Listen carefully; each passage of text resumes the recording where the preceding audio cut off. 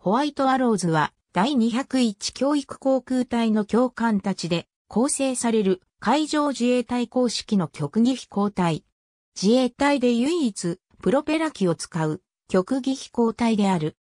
ホワイトアローズは小月教育航空軍第201教育航空隊所属のベテラン操縦教官計十数名で構成される。教官や使用される機体の本来の任務は更新の育成であり、局技飛行隊としての活動はその合間に行われている。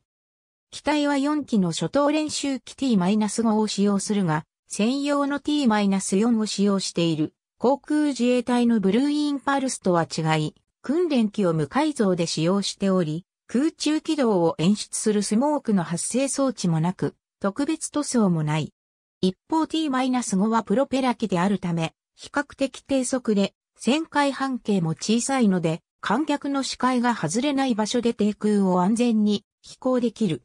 ホワイトアローズの魅力の一つは、こうした機体の特徴を活かし観客に近いところで行われる迫力ある演目にある。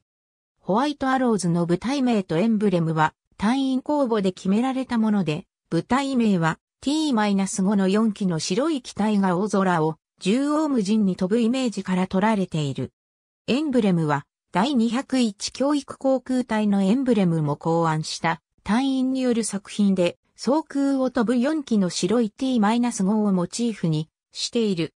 エンブレム中の4本の白い矢が広がりながらまっすぐに伸びる様は、アクロバットの力強さと極技飛行チームの活動の広がりを表している。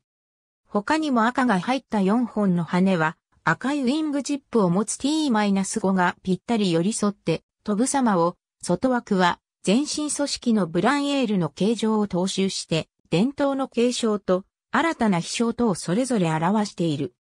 ホワイトアローズによる極技飛行1998年、教育航空集団の自主研究を目的に飛行技術研究班として発足。学生教育のための飛行教育技術の向上と学生の学習意欲の向上、そして海上航空の広報活動を目的に活動が開始された。その後フランス語で白い翼を意味するブランエールや第201教育航空隊のコールサインに由来するルーキーフライトの名称で活動。当初は小月航空基地のイベントで飛行し、翌年から海上自衛隊の教育航空部隊がある鹿屋航空基地と下宇佐航空基地において展示飛行を行っていた。数年間こうした活動を続けてきたが、本来任務の航空学生の教育が多忙になり、小月基地の入隊式や、ホームベースの小月航空基地で1年に一度だけ、催される航空祭、スウェルフェスタだけの活動に限定されていた。